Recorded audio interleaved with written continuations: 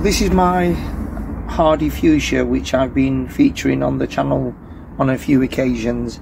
And last year um, I did some pruning uh, around this time but I didn't show this. Um, we had a really cold night last night and um, the fuchsia is looking fine. The cold hasn't got to it and the buds haven't really developed yet.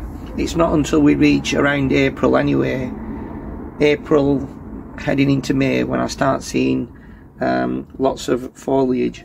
But if you look at this carefully you can see that there are a number of these branches that have got quite out of hand. So I'm going to just prune it and um, make it a little bit more compact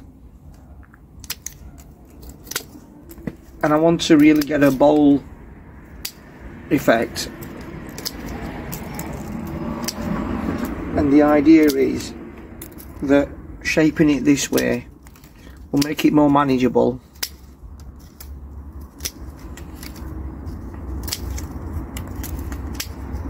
Now pruning is something that I must admit like a lot of people I used to be hesitant about but it's actually a really important process.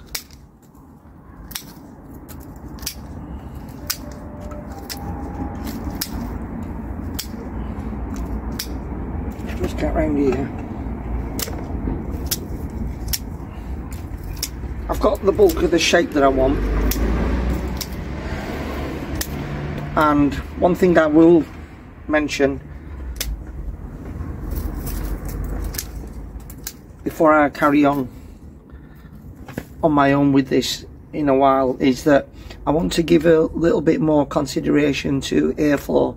So it's quite congested here in the middle. I want to take some of these stems out and particularly the ones that are growing into each other.